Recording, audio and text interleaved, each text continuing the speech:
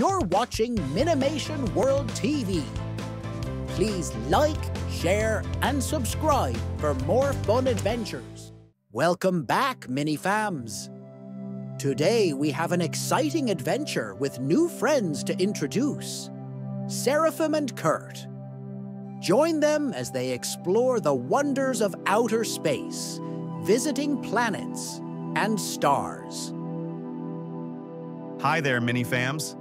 I'm Seraphim, and I'm so excited to take you on this space journey. We're going to explore the coolest places in our solar system, and trust me, there's so much to discover.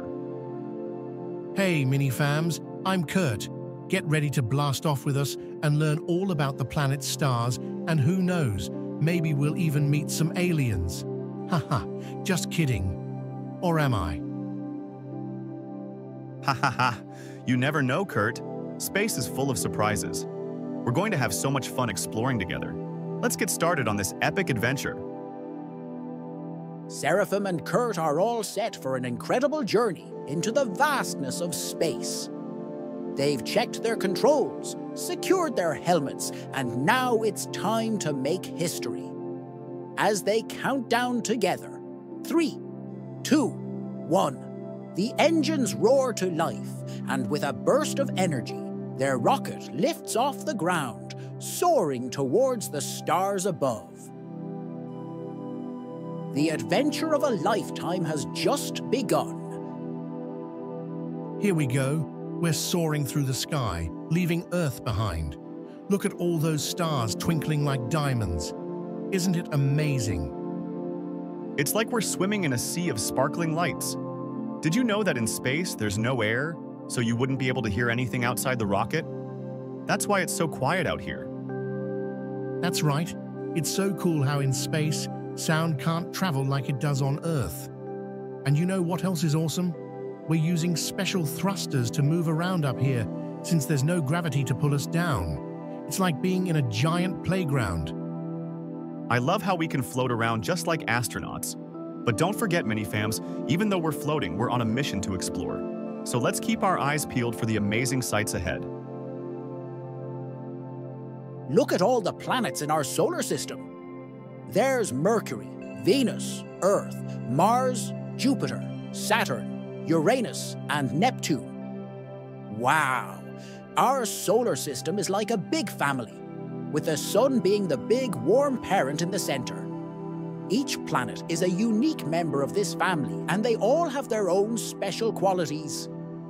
And just like people in a family, every planet has its own personality. Some are hot, some are cold, some have rings, and some are just gigantic.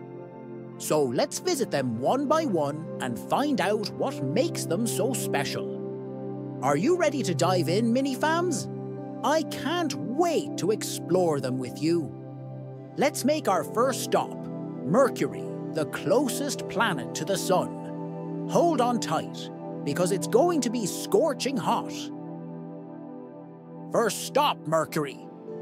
This tiny planet is the closest to the Sun and experiences some of the most extreme temperatures in our solar system. During the day, the surface of Mercury can become blisteringly hot, reaching up to 800 degrees Fahrenheit. But that's not all, because Mercury has almost no atmosphere. The heat escapes quickly at night, causing temperatures to drop drastically, making it one of the coldest places in our solar system when the sun goes down. Its surface is covered in craters, much like our moon, giving us clues about its long and violent history. Let's join Seraphim and Kurt as they explore this fascinating oven like world and discover what makes Mercury so unique. Whoa, it's scorching hot here. Mercury is like a giant oven because it's so close to the sun. Can you feel the heat, Kurt? Oh, definitely. It's like being in a super hot sauna. But guess what? At night, it gets super cold because there's no atmosphere to trap the heat. It's like going from a boiling hot desert to a freezing icebox all in one day. And look at all these craters. Mercury is covered in them because it doesn't have an atmosphere to protect it from space rocks. It's like a giant ball of Swiss cheese, What do you think, Minifams? Pretty cool, right? Totally. Mercury's surface is full of history. Every crater tells a story of a space rock that crashed into the planet long ago. But before we melt in this heat, let's blast off to our next destination, Venus, the cloudy planet. Next up is Venus, often called Earth's twin because of its similar size. But it couldn't be more different. Venus is shrouded in the thick clouds made of toxic gases like sulfuric acid, creating a greenhouse effect that traps heat and makes the planet even hotter than Mercury. These dense clouds completely cover the surface, making it impossible to see the ground from space. The atmosphere is so thick and pressurized that it's like being 3,000 feet underwater on Earth. As we approach Venus, get ready to explore this mysterious and scorching world where the conditions are unlike anything we've experienced so far.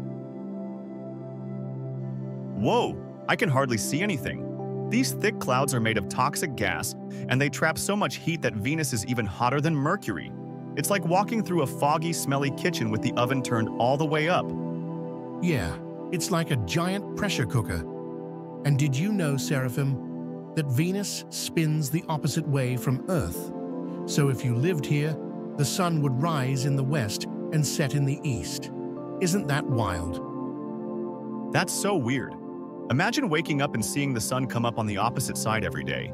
And it takes longer for Venus to rotate once than it does to orbit the sun so a day here is longer than a year. How crazy is that, Minifams? It's definitely one of the most unusual planets we've visited so far. But let's head to a place we know better, Earth. Ready to see our home planet from space, Minifams? And now, we've arrived at our home, Earth. This beautiful planet is unique in so many ways, it's the only place we know of in the vast universe that supports life.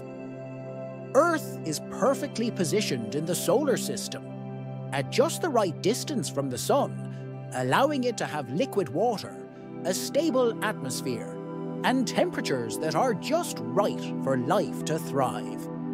Our planet is a vibrant mix of blue oceans, green forests, and towering mountains, all teeming with an incredible diversity of life forms. From the smallest microorganisms to the largest animals, Earth is a living, breathing world filled with wonders. As Seraphim and Kurt take a moment to reflect on the planet we call home, let's appreciate the incredible balance that makes Earth so special. Now, Let's see what they have to say about our one of a kind planet. Look at that beautiful blue and green planet. Earth is just the right distance from the sun, so it's not too hot and not too cold. Perfect for life. What's your favorite thing about Earth, Kurt? I love the oceans. They cover about 70% of Earth's surface and are home to all sorts of amazing creatures. Plus, we have all kinds of plants, animals, and of course us, humans. We're so blessed to live on a planet that has everything we need to survive. Absolutely. Earth is the only planet where we've found life so far, but who knows what we might discover out there someday. There could be other planets with life just waiting to be explored. Now, let's head to Mars, the red planet, and see what mysteries it holds. Next, we land on Mars, famously known as the Red Planet. This striking reddish colour that defines Mars comes from the iron oxide, or rust, covering its surface, giving the planet its distinctive hue. Mars has fascinated scientists and space enthusiasts for centuries, not only because of its colour, but also due to its many intriguing features. This planet, with its thin atmosphere and dusty landscapes, offers a glimpse into a world that might have once been very different from the barren desert we see today. Mars is also home to some of the most impressive geological formations in the solar system, including massive volcanoes and deep canyons that stretch for miles. As Seraphim and Kurt explore this rugged, rust colored terrain, they uncover the mysteries and wonders that make Mars such an exciting destination in our solar system. Let's join them as they discover what makes Mars truly unique. Mars looks like a giant red desert. That's because of the iron oxide, or rust, in its soil. It's like the planet is covered in red dust.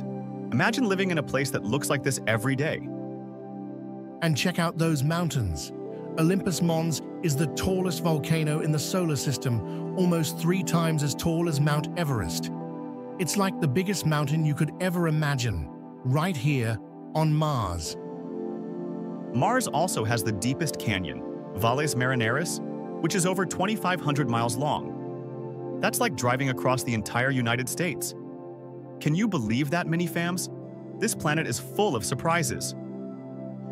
And did you know that Mars might have had water a long time ago? Some scientists think there could still be some hidden underground. Who knows what we might find here in the future? But for now, let's continue our journey to the giant of our solar system, Jupiter. As we approach Jupiter, prepare to be amazed by the sheer scale of this giant planet. Jupiter is the largest planet in our solar system, with a diameter of about 86,000 miles, more than 11 times that of Earth. One of its most striking features is the Great Red Spot, a colossal storm that has been churning for at least 400 years.